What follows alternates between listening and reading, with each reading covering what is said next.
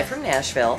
Suzanne Alexander, who you know from GAC TV, is hosting uh, this new show, and Stormy Warren from Country Music Across America, Nan Kelly from various TV shows from uh, GAC are also co-hosts, and we love them. And it's a great show.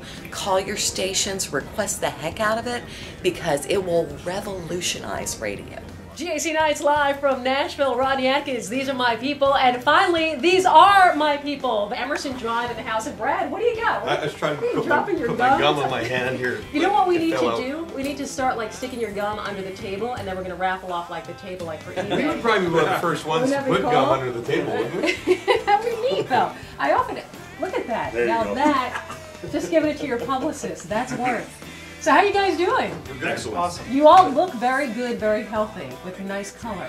Yeah, we've had a pretty uh, rough start to the year. We were in Mexico last week for Oh. uh, for a nice little vacation, and uh, and then we just got off a ca- cancer cruise for Ohio State um, this past weekend. so- Right, I heard about that. Now, for folks like myself who are watching for you guys on the Grammys, we didn't see you on the Grammys for a good reason. And obviously, congratulations, too, first off, on your very first Grammy nod Thank you. for your performance on Moments. Unbelievable. You guys have to be so stoked about seeing that come down the pipe. Yeah, it was uh, it was pretty amazing to, to get a phone call like that before Christmas time, and um, uh, it's still a, an unbelievable thing when you can say that you actually lost to the Eagles.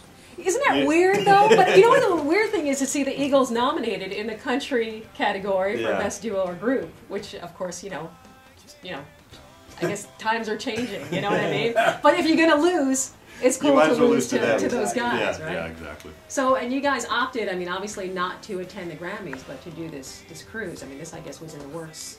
You know, it's something Something. we talked about it for uh, for a good month and a half because no one was really sure if the Grammys were even going to happen. You know, a month ago, um, and we had already booked some dates uh, that we felt were uh, were good to do, and uh, especially this cancer cruise. Um, you know, it benefits something that uh, means a lot, and uh, you know, for, for people like myself who have, have you know best friends, parents that have gone through uh, cancer and uh, and are survivors, uh, I think it's an important thing to do.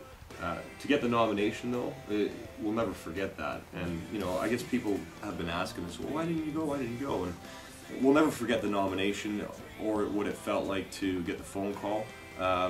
But you know what? We uh, we felt it was important to be on the cancer cruise. So. Well, it speaks volumes about who you guys are and, and how you live your lives, and that's tremendous. But many more Grammy nominations to come, so Hey, we look forward to seeing you guys walk the carpet. Yeah. We're going to talk new music. Let's go ahead though and play one right now. CD Countrywide, talking about a brand new one. It's You Still Own Me, Emerson Drive on GAC Nights, live from Nashville.